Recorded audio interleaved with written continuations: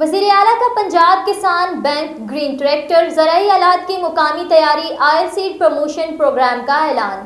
آسان قرضوں کے لیے پنجاب کسان بینک قائم کرنے کا اصولی فیصلہ۔ C M Punjab green tractor scheme کی منظوری۔ چھوٹے ٹریکٹر پر ستر اور بڑے پر پچاس فیصد سبسڈی دینے کی ہدایت۔ مزید تفصیلات بیورو چیف لاہور میاں کبیر احمد کی اس رپورٹ میں۔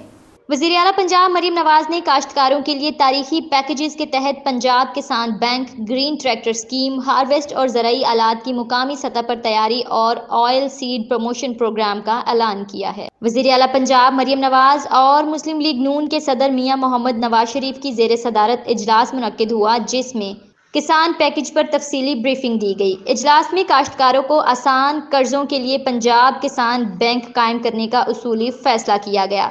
کاشتکاروں کے لیے C M Punjab green tractor scheme کی منظوری بھی دی گئی۔ وزیر اعلیٰ پنجاب مریم نواز نے ٹریکٹر پر چھ لاکھ روپے سبسڈی کی تجویز مسترد کر دی۔ وزیر اعلیٰ مریم نواز نے چھوٹے ٹریکٹر پر ستر فیصد اور بڑے ٹریکٹر پر پچاس فیصد سبسڈی دینے کی ہدایت کی۔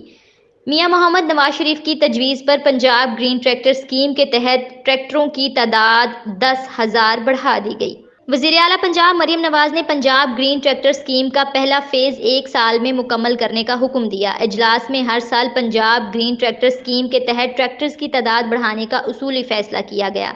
بریفنگ کے دوران بتایا گیا کہ چھ ایکڑ سے پچاس ایکڑ عرضی مالکان ٹریکٹر سکیم میں اپلائی کرنے کے اہل ہوں گے۔ غیر ملکی کمپنیاں پنجاب میں مقامی اشتراک پر ہارویسٹ اور دیگر آلات تیار کریں گی۔ غیر ملکی کمپنیوں کو جدید زرعی آلات کی پنجاب میں مینوفیکچرنگ پر امارات دینے کی تجویز پر غور کیا گیا۔ پنجاب میں آئل سیڈ پروموشن پروگرام شروع کرنے کی منظوری دے دی گئی، جس کے تحت صوبے کے مختلف علاقوں میں تیل دار اجناس تیار کرنے کی ترغیب دی جائے گی۔ وزیر اعلیٰ مریم نواز نے کہا کہ پنجاب میں پہلی مرتبہ چار سو ارب روپے کا کسان پیکج دیا جا رہا ہے۔ کسان کارڈ کے ذریعے کاشتکاروں کو زرعی مداخل کے علاوہ دیگر امارات اور سہولتیں بھی دی جائیں گی۔